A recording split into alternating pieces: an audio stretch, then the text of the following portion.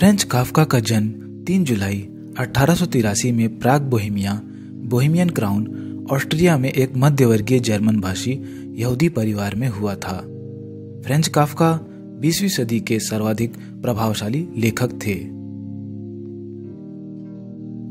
French Kafka ने एक वकील के रूप में खुद को प्रशिक्षित किया और कानूनी पढ़ाई पूरी करने के बाद उन्हें एक बीमा कंपनी में नौकरी मिली। उन्हें खाली समय में लेखन करना बहुत पसंद था। फ्रेंच काफका का नाम कई महिलाओं से जुड़ा था, लेकिन उन्होंने कभी शादी नहीं की।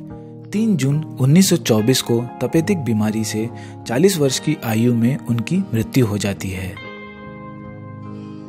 आइए सुनते हैं फ्रेंच काफका के कुछ अनमोल विचार। एक पुस्तक हमारे अंदर जमे हुए समुद्र के लिए एक कुल्हाड़ी की तरह है। वह मरने से बहुत डरता है, क्योंकि वह अभी तक जिया नहीं है। मनुष्य के साथ जुड़ाव व्यक्ति को आत्म अवलोकन के लिए प्रेरित करता है। मैं आमतौर पर समस्याओं को हल करके उन्हें खा जाता हूँ। किताबें एक मादक पदार्थ हैं। मैंने अपनी इच्छाओं का विरोध करते हुए अपना सारा जीवन बिताया है। मैं केवल उस चीज़ से प्यार कर सकता हूँ, जिसे मैं अपने ऊपर इतना ऊँचा रख सकता हूँ कि मैं उस तक नहीं पहुँच सकता। हमेशा घमंड और शालीनता के प्रकोप के बाद पहले ताजी सांस लें।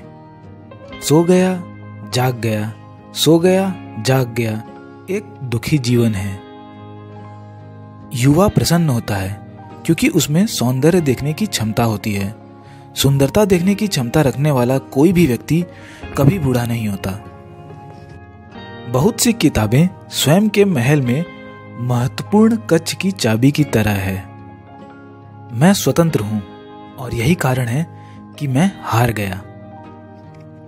दो प्रमुख पाप हैं, जिनसे अन्य सभी उत्पन्न होते हैं, अधीरता और आलस्य। एक बाधा की तलाश में अपना समय बर्बाद मत करो। शायद कोई नहीं है।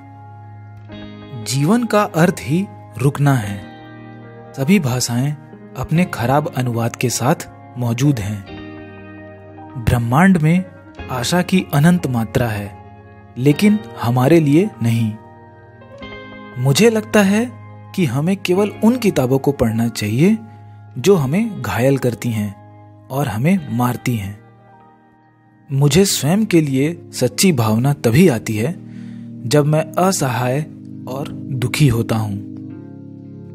उससे विवाह न करें जिससे आप प्रेम करते हो, बल्कि उससे विवाह करें जो आपसे प्रेम करता हो। जो स्वीकार्य है, उसके बजाय जो सही है, उससे शुरू करें। यह केवल खुद की मूर्खता के कारण है कि वे स्वयं के प्रति इतने आश्वस्त हैं। मैं थक गया हूँ। कुछ भी नहीं सोच सकता और केवल अपना चेहरा अपनी गोद में रखना चाहता हूँ। मेरे सिर पर अपना हाथ महसूस करना और अनंत काल तक ऐसे ही रहना चाहता हूँ।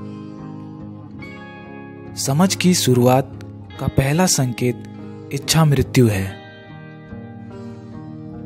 आलस्य सभी समस्याओं की शुरुआत है। यह सभी अवगुणों का मुकुट है।